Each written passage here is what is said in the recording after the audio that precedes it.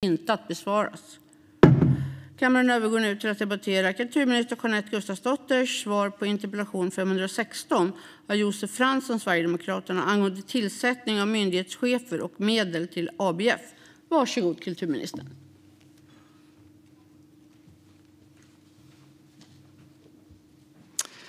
Fru talman! Josef Fransson har frågat mig om jag anser att det är problematiskt att pengar slussas till socialdemokratiskt nära anknutna organisationer som ABF och om jag är beredd att ta några initiativ med anledning av detta. Josef Fransson har också frågat mig om jag anser att socialdemokratiska tillsättningar av andra socialdemokrater till höga uppdrag inom myndigheter och statliga bolag är förenliga med FN:s korruptionskonvention, vilket vi anslöt oss till 2007, och vilka åtgärder jag tänker vidta om jag inte gör det. Låt mig börja med att säga att regeringen ser mycket positivt på den betydelsefulla verksamhet som folkbildningens aktörer genomför varje dag. Folkbildningen har en lång historia i vårt land och växte fram parallellt med och i samarbete med folkrörelserna i slutet av 1800-talet och i början av 1900-talet. Det finns för närvarande elva studieförbund. Bakom studieförbunden står olika folkrörelser och andra organisationer som ger varje studieförbund en unik profil. Staten formulerar övergripande mål och syften för den verksamhet som finansieras av statsbidraget till folkbildningen. Statens stöd syftar bland annat till att stärka demokratin, göra det möjligt för en ökad mångfald av människor att påverka sin livssituation, bidra till att utjämna bildningsklyftor och öka delaktigheten i kulturlivet. När det gäller frågan om regeringens utnämningsmakt vill jag särskilt påminna om den ingående granskningar som konstitutionsutskottet genomfört vid flera tillfällen under senare år.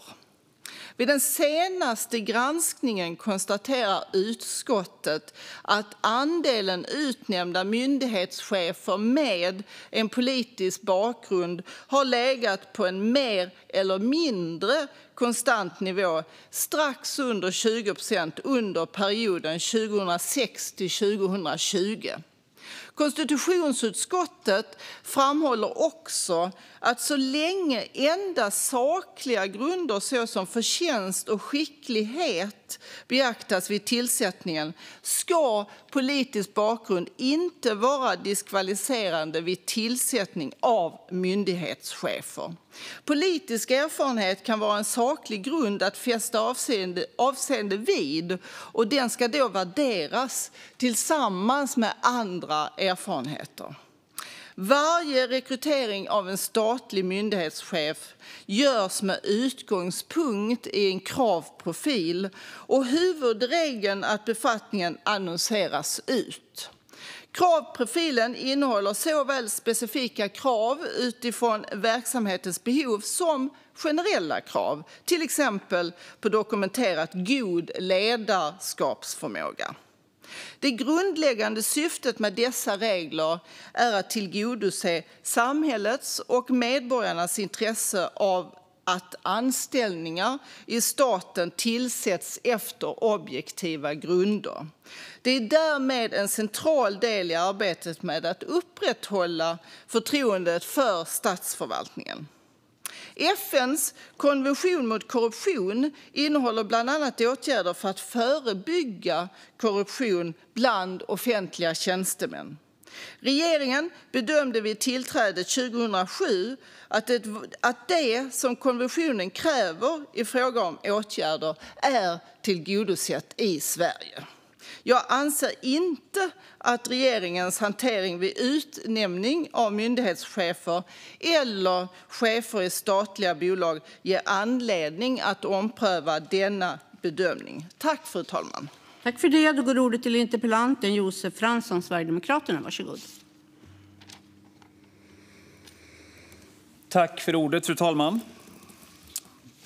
Interpellationsdebatt, utnämningsmakt och ABF. Jag tänkte jag delar upp det här i två olika anföranden. Men i alla fall, jag vill inleda med att konstatera att Socialdemokraterna under sina många år av regeringsinnehav har byggt upp strukturer och institutioner på ett sådant sätt att gränsen mellan partiet och samhället i många sammanhang är väldigt, väldigt suddigt. Det handlar naturligtvis om större delen av fackrörelsen. Man har PRO, Hyresgästföreningen, nära anknutet till, eller ja, som egentligen styrt av, från Sveavägen 68. Man har stora intäkter av A-lotteriet. Man har också enorma pengaflöden in från statens eh, skatteintäkter över till ABF. Vidare så håller partiet genom utnämningsmakten också ett grepp om en lång rad myndigheter och statliga bolag. Och då spelar det ingen roll vilken färg regeringen har. Alltså Regera till viss del då även i opposition.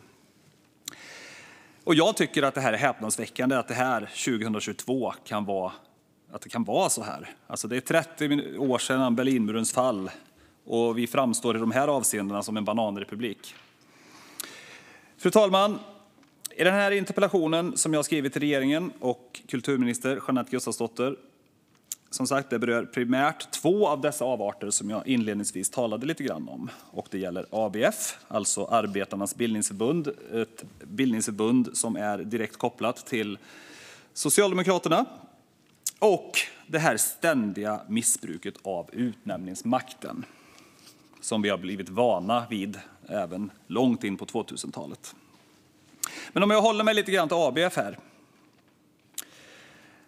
ABF är då ett av tio så kallade studieförbund som eh, då eh, tilldelas statsstöd och som slussas, eller man kanske till och med skulle kunna säga tvättas, via det mycket märkliga Folkbildningsrådet, eller hur det är uppbyggt. Den konkreta frågan till ministern det var ju huruvida regeringen och ministern anser det problematiskt att man slussar pengar på det sättet över till en socialdemokratiskt nära anknuten organisation som, organisation som ABF. Eh, men svaret var föga förvånande nej. De, eh, ja, som sagt, hur pengarna används som slussas över till Folkbildningsrådet, det är de själva som är satta att besluta. Man granskar sig själva, man granskar verksamheterna och det är till och med så att Folkbildningsrådets styrelse består av representanter för de förbund som man är satt att dela ut pengar till och granska. Det är en fantastisk konstruktion det här. Och I och med att sammansättningen är som den är så blir ju den här styrelsen en direkt grindvakt mot att släppa in nya stödmottagare. Skulle engagerade personer med en fot kanske in i mitt eget parti, Sverigedemokraterna, få för sig att bilda ett studieförbund, då skulle vi ju naturligtvis aldrig se röken av några pengar. Spelplanen är så att säga riggad för att gynna Socialdemokraterna och för dem närstående, eller i alla fall acceptabla, organisationer. Föga förvånande är det Arbetarnas bildningsförbund som kvitterar ut de största stöden, ungefär en halv miljard kronor per år. Därtill ska man också lägga de bidrag som kommer från framför allt socialdemokratiskt styrda kommuner och regioner på närmare 150 miljoner kronor per år. Pengar utan reell möjlighet till granskning kan fritt användas för att gynna socialism, socialistisk ideologiproduktion och det socialdemokratiska partiet. I ett demokratiskt rimligt land då hade en konstruktion som den jag just redogjort för aldrig varit möjlig. Tack för ordet. Tack så mycket, kulturminister Jeanette Gustafsdotter. Varsågod. Tack, fru talman. Jag vill inledningsvis betona att studieförbunden utgör en viktig verksamhet som bland annat stärker demokratin, bidrar till att utjämna bildningsklyftor och som ökar delaktigheten i kulturlivet. Det är inte bara Socialdemokraterna som har band till folkrörelsen. Sverigedemokraternas interpellation saknar grund. Den helt övervägande andelen av myndighetschefer som regeringen har tillsatt under 2016 till 2020 har saknat politisk bakgrund. Fyra av fem. När det gäller, med det sagt så vill jag också säga att jag håller med Josef Fransson om att det är oerhört viktigt att myndighetschefer och andra offentligt anställda alltid rekryteras på sakliga grunder och att processen är öppen och transparent. Det följer också av regeringsformen att vid beslut om statliga anställningar så ska Eh, avseende fästas endast på sakliga grunder såsom förtjänst och skicklighet. Och när det gäller påståenden om ABF som jag tidigare har varit inne på är det ett stort antal folkrörelser och andra organisationer, inklusive flera politiska partier, som står bakom studieförbunden. Denna mångfald är en styrka för folkbildningens organisationer. Bland partierna är det alltså inte bara Socialdemokraterna som har koppling till ett studieförbund. När det gäller hur medel fördelas mellan olika folkbildningsorganisationer så är det eh, är det så att Folkbildningsrådet enligt lag fått uppgiften att pröva dessa frågor. Det är alltså Folkbildningsrådet som fattar beslut om vilka studieförbund som får ta del av statens stöd till folkbildning enligt förordningen 2015 2018 om statsbidrag till folkbildningen.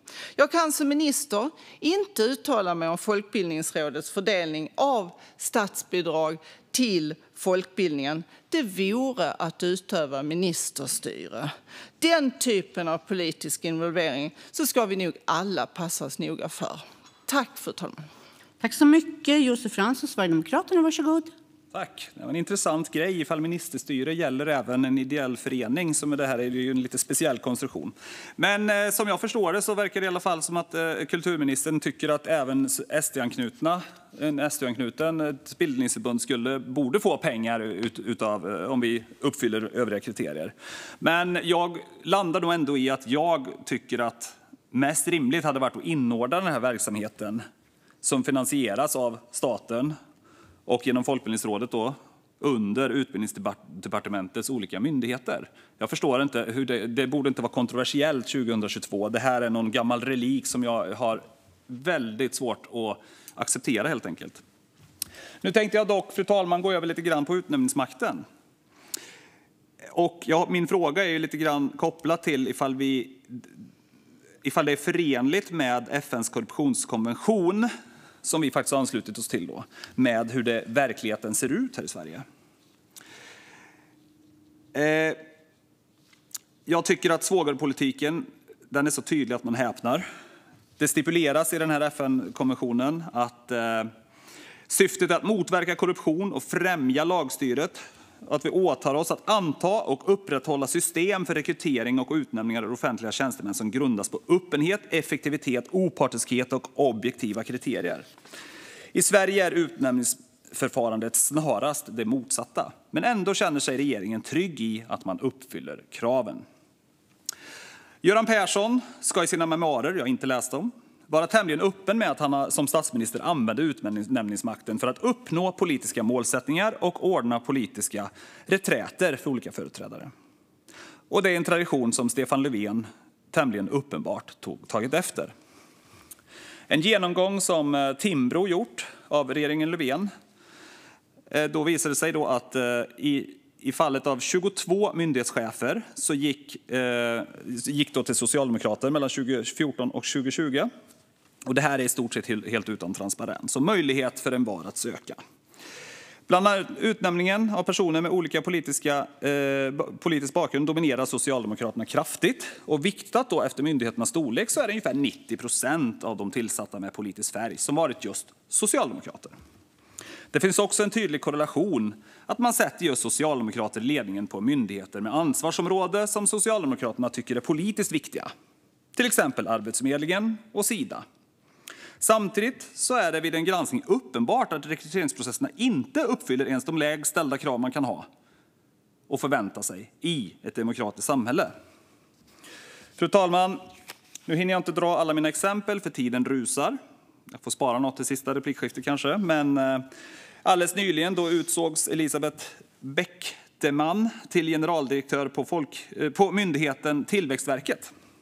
Backteman är socialdemokratisk politruk, får man väl ändå säga. Det var, hon var då senast statssekreterare på justitiedepartementet och fick jobbet utan att ha sökt det och utan att tjänsten någonsin annonserades ut. Och det vore väl en underdrift att säga att detta är eh, annat än en reträttpost för någon som tagit faktiskt politiska smällar under efterspelet av hanteringen av coronapandemin. Och där då hon sägs ha varit en del av att eh, inga handlingar eller protokoll upprättades eh, på över ett år då regeringen diskuterade pandemin. Vi har samma liknande förfarande i Sida. Där annonserades faktiskt tjänsten ut men trots att det var 28 personer som sökte så var det ingen som fick tjänsten. Och man höll på tjänsten tills att Karin Jämtin blev ledig och hon fick tjänsten utan att söka den. Man skulle kunna fortsätta så här en stund till. Det finns fler exempel. Ja, tack så mycket. Tack, tack. tack. Eh, kulturminister Jeanette Gustafsdotter, varsågod.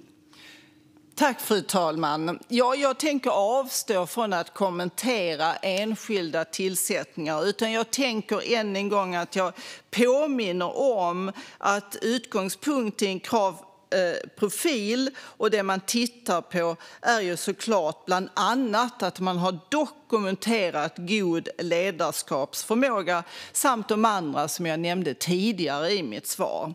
Jag tänker också bara kort kommentera FNs kon konvention mot korruption som jag också har nämnt tidigare.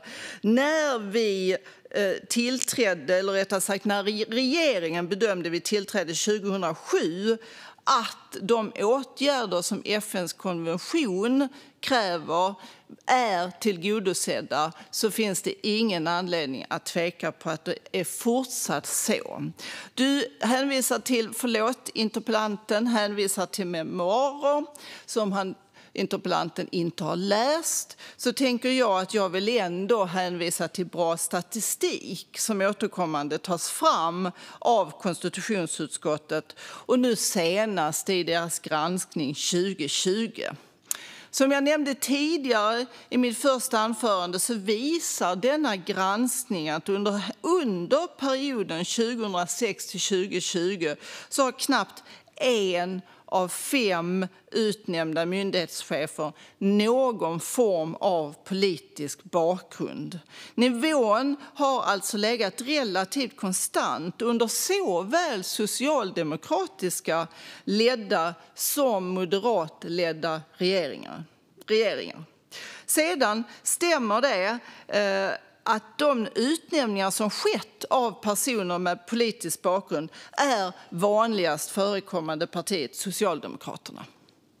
Om man ser dock till samtliga myndighetschefer som utnämndes 2014 till 2020 så framgår det att 9 procent hade en politisk bakgrund i Socialdemokraterna och 4 procent en bakgrund i Moderaterna. Jag tycker inte att det är tillräckligt vanligt förekommande för att påstå att det är ett demokratiskt problem. Det är helt enkelt en verklighetsbild som inte jag ställer upp på. Tack, fru talman. Tack så mycket. Josef Fransson, Sverigedemokraterna, slutanförande. Varsågod. Tack för ordet återigen, fru talman. Kulturministern hänvisar till statistik att det endast är en av fem som har politisk bakgrund eh, som då har rekryterats till generaldirektörer för diverse myndigheter, vilket jag är den första att tillstå. Det, det ser ut att stämma med de siffrorna även jag har tagit del av. Men som jag även sa tidigare, 90 procent är socialdemokrater om man viktar för myndigheternas storlek. Stora myndigheter som Sida med, mängder av miljarder, som Polismyndigheten och så vidare, och så vidare, då växer det här väldigt eh, rejält. Så det är mycket rimligt att också väga in i den här eh, statistiken. Och jag menar, om vi vill komma ifrån det här, vad jag menar är bananrepubliksförfarande, då måste vi, vi måste reformera det här. Och jag hade mer än gärna sett att generaldirektörer för myndigheter, inte bara, också diplomater, styrelseledamöter för statliga bolag och så vidare, att de faktiskt får utses av riksdagen och inte regeringen. Där helt enkelt transparensen blir högre, där alla partier får ta del av vad det är för ja, olika personer som får de här uppdragen. Är det, är det verkligen kompetens som avgör eller är det personer som man skickar runt mellan olika myndigheter som egentligen saknar relevant kunskap och kompetens. Vi kan ju ta till exempel Dan Eliasson som fick hoppa runt mellan några myndigheter innan han till slut togs, med, drogs ut från den här destruktiva traditionen av att köra myndigheter i botten. Så som sagt, är det inte en, en, en väg framåt som även kulturminister och demokratiminister, kanske man också säger, ansvar för demokratifrågor i alla fall, kan se som en rimlig väg framåt, att man flyttar utnämningsmakten till riksdagen? Tack för ordet. Tack så mycket. Jag vill ändå påminna ledamoten här om att inte utsätta enskilda personer för, för kritik, även om de är myndighetschefer på det sättet. Nedsättande kritik. Eh, och då går ordet till kulturminister Jeanette Gustafsdotter för ett slutanförande. Varsågod. Tack, fru talman. Ja, jag vill börja med att tacka Josef Fransson för en intressant debatt. Folkbildningen ligger mig mycket varmt om hjärtat och jag vill verkligen framhålla den betydelsefulla verksamhet som folkbildningens aktörer genomför varje dag. Ett exempel på detta ser vi just nu då studieförbund och folkhögskolor kraftsamlar för att möta nya behov som uppkommer då människor söker sig till Sverige som en följd av den ryska invasionen av Ukraina. Statens stöd till studieförbunden och folkhögskolorna bidrar bland annat till att stärka demokratin, göra det möjligt för fler människor att påverka sin livssituation, bidra till att utjämna bildningsklyftor och öka delaktigheten i kulturlivet.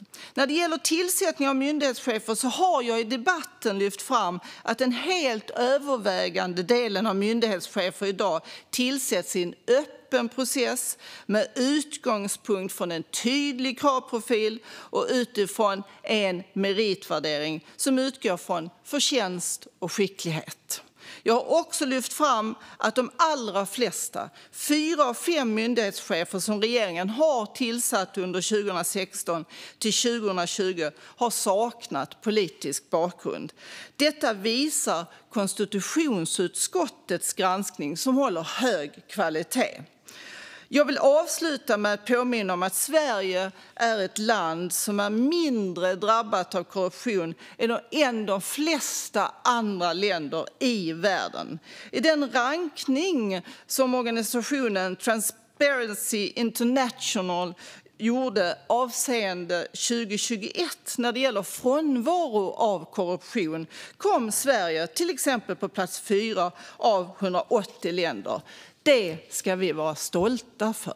Tack, fru Tack för det. Därmed är debatten med anledning av interpellation 516 av Josef Fransson, Sverigedemokraterna angående tillsättning av myndighetschefer och medel till ABF avslutad.